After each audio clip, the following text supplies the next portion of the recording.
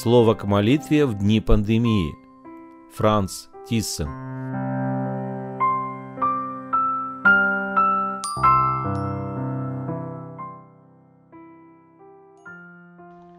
Мир вам, братья и сестры!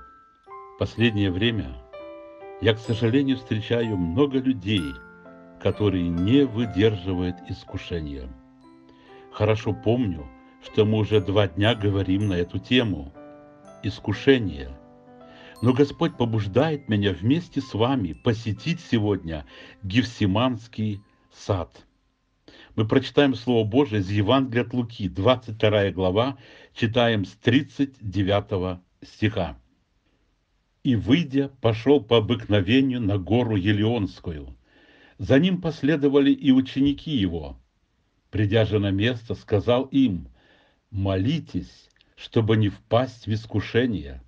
И сам отошел от них на вержение камня и, преклонив колени, молился, говоря, Отче, о, если бы Ты благоволил пронести чашу сию мимо меня!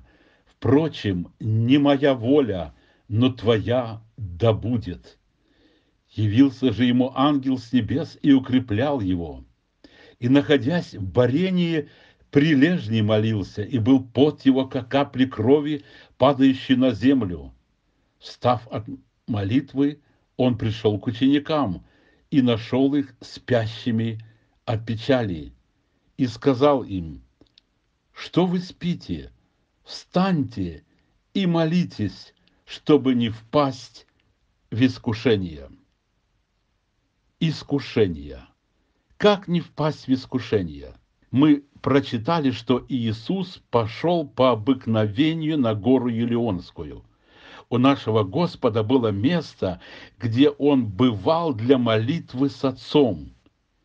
Есть ли у нас обыкновение молиться?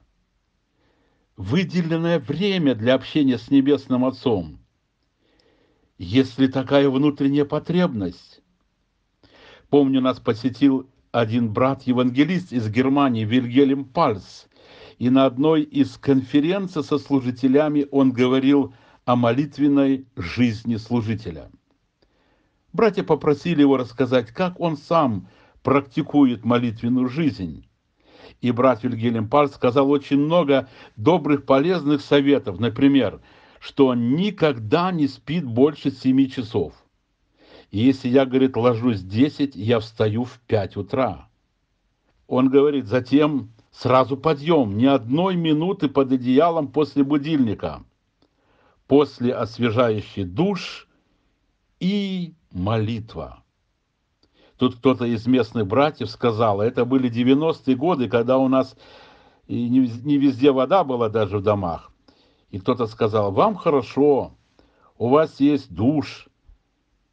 Брат немного сконфузился, но затем быстро сказал, братья, если бы я жил в Казахстане, я бы что-нибудь придумал, но я бы молился.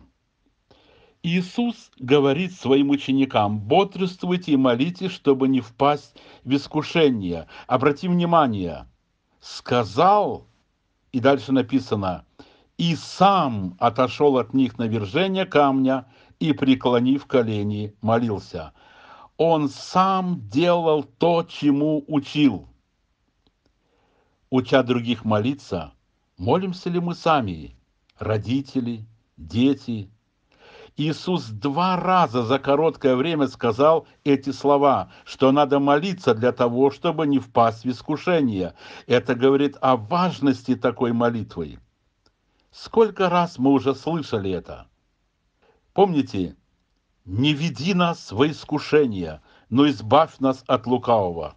Хочу спросить, вы сегодня уже молились об этом? Вы встречаете искушения? Сегодня они были в вашей жизни. Вы устояли?